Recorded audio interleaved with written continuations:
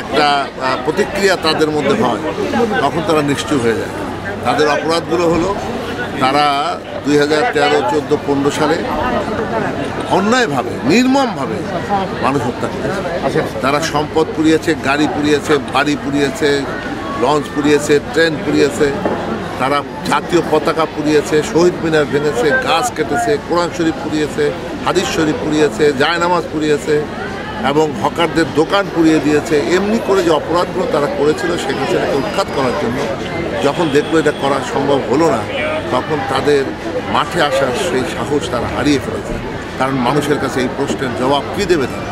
এই প্রশ্নের জবাব দেওয়ার কিছু নেই।